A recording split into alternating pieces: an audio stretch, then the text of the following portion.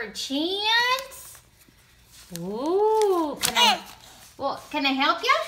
Huh? Can I help you? I'm gonna help you open it, okay? This one, I, I don't know if she, I, I, I love the, I love the, um, Wells Fargo signature. it's a little note. It's a little note, okay?